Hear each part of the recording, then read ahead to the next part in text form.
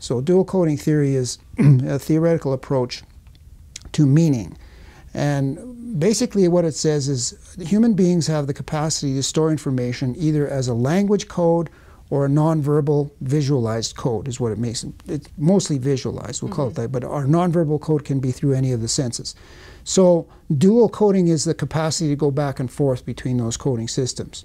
So if you're reading the word dog and you see dog, that's one thing. You understand the meaning from mm -hmm. the mm-hmm. verbal code, but you also see a picture of a dog in your mind. So that's dual coding that little piece of information. Mm -hmm. Yeah, so that's dual code. So our comprehension program is based on teaching students to visualize more effectively than what they're usually doing, which is usually not at all, right?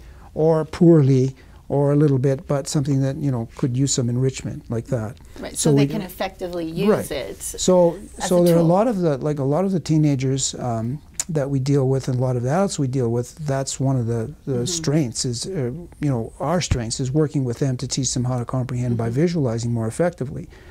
And then the process of visualization is also connected to understanding math problems and math sequences and so on. It also affects our uh, working memory. So then uh, math difficulties can also often be traced back to a lack of visualization. So sometimes we have to do the two programs at the same time, like maybe two hours of comprehension or visualizing two hours of math. And then written expression too, I think, can, can be uh, traced a lot to visualization as well.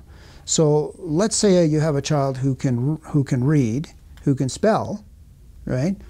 but can't write because they can't think of a thing to say. Mm -hmm, mm -hmm. So we, we get students, that's sort of the typical uh, pattern that we see, right? Absolutely. So the child, the child, when it comes to writing something, they just sit there, they, they, they can't glance. So the reason for that is they're not visualizing any of the language that they're thinking, yeah. right? So unless they can go directly from language to print, they're going to be in trouble because they just can't get the ideation going in, in the first place. So mm-hmm. that uh, they just you know, they stare at the pages in, in a blank.